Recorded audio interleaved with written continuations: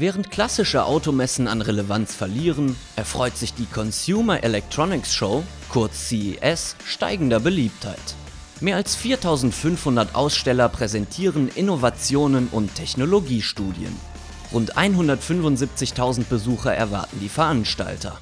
Längst sind auch die großen Autobauer und Zulieferer präsent in Las Vegas. Unsere sieben Highlights von der CES 2020 jetzt bei Die 7. Fakt Nummer 1. Fernsehverbot. Sony stellt überraschenderweise in Las Vegas keinen neuen High-End 32K Fernseher oder etwa den Walkman der Zukunft vor, sondern ein eigenes Auto. Die Konzeptstudie Vision S.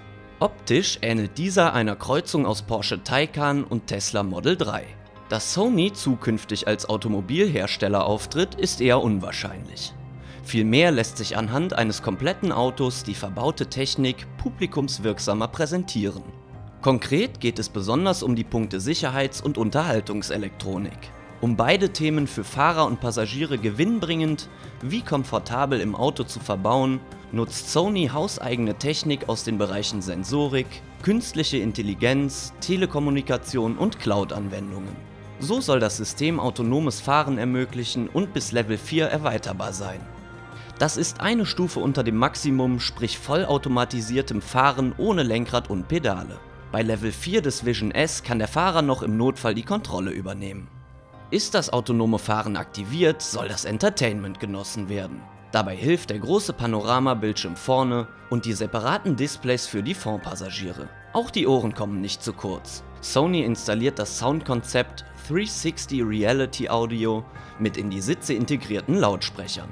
Beinahe Standard bei der Vorstellung moderner Fahrzeugstudien sind die permanente Online-Anbindung und der Verzicht auf Außenspiegel. Diese werden durch Kameras und Monitore ersetzt. Ebenso wenig überraschend ist der Antrieb.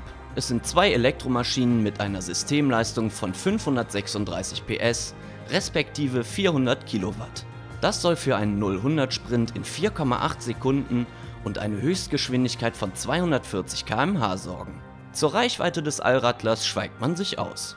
Beim Bau des Vision S setzt Sony auf etablierte Kooperationspartner wie Magna Steyr sowie ZF, Continental und Bosch. Die entwickelte Plattform würde laut den Japanern auch andere Karosserieaufsätze von Coupé bis Minivan oder SUV zulassen. Ob der technische Unterbau dem Showcar vorbehalten bleibt oder in Zukunft bei Serienautos Verwendung findet, wird die Zeit zeigen. Fakt Nummer 2.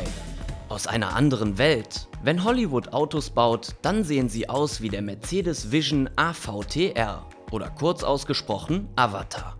Denn zusammen mit Kultregisseur James Cameron ist die Sternstudie entstanden, die auf der CES in Las Vegas das Licht der Welt erblickt. Traditionell geben Studien ja einen Ausblick auf kommende Serienfahrzeuge und so ein bisschen zukünftiger CLS könnte in der Studie enthalten sein. Auffällig außen die kugelförmigen Räder und die 33 Flaps am Heck.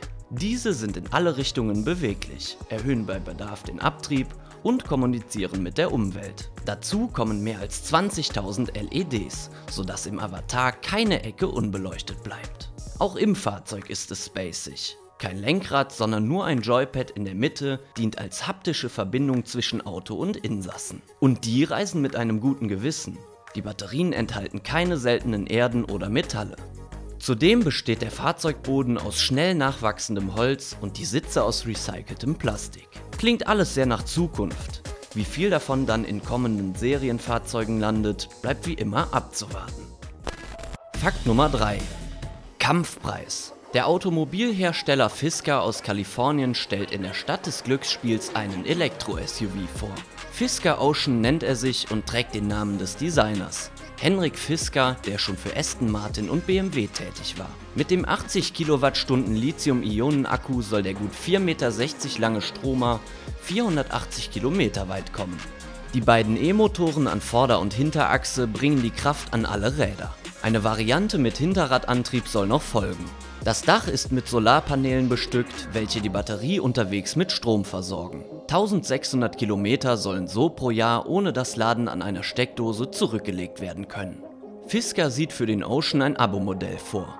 Nach einer Anzahlung von 3000 US-Dollar kostet der Wagen Kunden 379 Dollar monatlich, inklusive Service und Wartung. Für vergleichsweise günstige 37.500 Dollar soll es den SUV aber auch normal zu kaufen geben. Besonderheiten gibt es auch im Interieur. Es ist aus veganen und zum Teil recycelbaren Materialien gefertigt. Mit dem California Mode können per Knopfdruck alle Fenster inklusive Heckscheibe und Schiebedach geöffnet werden. Außen sorgen weit ausgestellte Radhäuser, bewohnt von 22 Zöllern, für ein wuchtiges Auftreten. Im Showroom wird der SUV erst Ende 2021 zu sehen sein, 2022 dann auf der Straße. Fakt Nummer 4. Für alle Fälle Amy. Auch Audi legt in Las Vegas die Technologiekarten auf den Tisch. Zwar haben die Ingolstädter mit dem AMI eine bereits bekannte Studie im Gepäck, aber diesmal dürfen wir mitfahren. Sind moderne Autos oft mit zahlreichen Touchscreens bestückt und kommen ohne Knöpfe aus, heißt es im AMI nur gucken, nicht anfassen. Das riesige Display wird nämlich über Eye-Tracking bedient. Kameras erkennen, auf welchen Menüpunkt der Fahrer oder Beifahrer schaut. Dieser wird hervorgehoben und über ein Touchpad in der Tür bestätigt. Ein bisschen Touch bleibt also. Hat man den Menüpunkt Wellbeing anvisiert und ausgewählt, kann man sich während der Fahrt Essen bestellen. Pünktlich zum Ende der Tour wird dieses dann an die Autotür geliefert. Fakt Nummer 5. Ruhe bitte, ob Verbrenner oder Elektro, leiser geht's immer. Das dachte sich auch Nissan und produzierte einen neuen Dämmstoff für Fahrzeuge, sogenanntes Metamaterial. Dieses setzt sich aus einer Kunststofffolie und einer Gitterstruktur zusammen und soll Luftvibrationen senken. Geräusche im Frequenzbereich von Straßen bis Motorenlärm sollen so deutlich reduziert werden. Ein netter Nebeneffekt ist das geringe Gewicht, das nur ein Viertel vergleichbarer Gummimatten beträgt. So profitieren auch Verbrauch, Agilität und Verschleiß vom Metamaterial. Daher wären auch verbesserte Schallisolierungen für Sportwagen und der Effizienz verschriebenen Autos möglich, die besonders auf ihre Linie achten. Für die Massenproduktion tauge der neue Werkstoff laut Nissan mindestens so gut wie der bislang verwendete. Fakt Nummer 6. Wohnzimmer auf Rädern. Dem Trend siebensitziger SUV entgegen zeigt BMW die Studie i3 Urban Suite. Von außen ein gewöhnlicher i3 offenbart sich das Geheimnis beim Öffnen der Türen. Der Urban Suite ist ein Zweisitzer mit Zweiklassengesellschaft, denn der Beifahrer genießt im kompakten BMW maximale Beinfreiheit. Darüber hinaus darf er es sich dabei auf den großzügig einstellbaren Komfortsitzen sehr bequem machen. Passend dazu fährt auf Knopfdruck eine weiche Stütze unter die geplagten Beine. Das reicht den Bayern jedoch noch nicht. Ein Bildschirm fährt auf Wunsch aus dem Dachhimmel und sorgt für zielgerichtete Unterhaltung, gesteuert via Smartphone und App. Über diese ließe sich so ein behagliches Single-Taxi auch bestellen, inklusive der Auswahl an vorgewärmten oder vorgekühlten Getränken. Denn beides sind die Cupholder zu leisten imstande.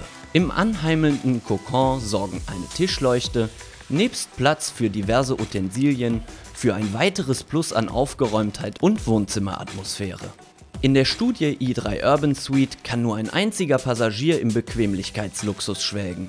Laut BMW soll in Zukunft aber das Konzept auch in größeren Fahrzeugen anwendbar sein. Geteiltes Genießen ist doch oft doppeltes Genießen. Fakt Nummer 7. CES skurril. Innovative Lösungen zur Mobilität, besonders effiziente Raumkonzepte, all das sieht man auch bei zahlreichen Studien auf klassischen Automessen. Und so geht Toyota auf der CES noch einen Schritt weiter. Die Japaner präsentieren den Prototypen einer ganzen Stadt. In dieser sind autonome Autos sowie die Gebäude und Menschen miteinander vernetzt. Roboter und künstliche Intelligenz sollen das Leben erleichtern. Wem denn eigentlich? Na den Bewohnern. Die Stadt soll nämlich ab 2021 tatsächlich in Japan auf einer Fläche von über 70 Hektar gebaut werden. In eine derart futuristische Stadt würden auch Lufttaxis gut passen, sagt ihr? Hyundai kann helfen. Die Südkoreaner entwickeln nämlich ein solches in Kooperation mit Uber. SA1 heißt das elektrisch angetriebene Fluggerät. Es kann senkrecht starten und landen. Bei einer Flughöhe von 300 bis 600 Meter sollen bis zu 290 km/h Spitzengeschwindigkeit drin sein. Neben dem Piloten finden in der Fahrgastzelle von morgen bis zu vier Passagiere Platz und fliegen lokal emissionsfrei von der Disco nach Hause. Eine skurrile Vorstellung, die, wenn es nach Uber geht, schon 2023 Realität wird.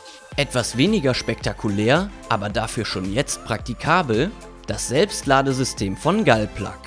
Fährt der Besitzer seinen mit dem System ausgerüsteten Plug-in-Hybriden an die Ladestation, fährt automatisch der Stecker aus, findet magnetisch sein Ziel und, siehe da, er lädt. Es geht also doch. Studien zufolge werden nämlich die weitaus meisten Plug-in-Hybride größtenteils mit Benzin betrieben und nicht aufgeladen.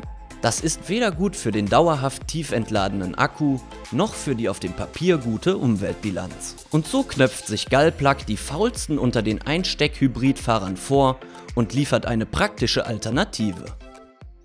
Das waren unsere 7 CES-Highlights mit automobilem Bezug. Auf welche Innovationen freut ihr euch am meisten? Was haltet ihr von der CES allgemein? Werden solche Messen den klassischen Autoshows den Rang ablaufen? Wir freuen uns auf eine friedliche Diskussion unter dem Video. Ach ja, falls es euch gefallen hat, dürft ihr gerne ein Like und ein Abo dalassen.